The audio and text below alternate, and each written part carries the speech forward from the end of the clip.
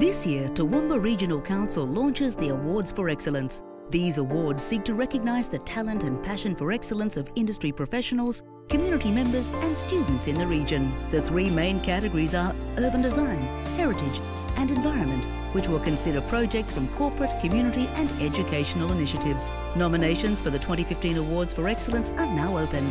For details, contact 131 TRC or visit trcawards.com.au.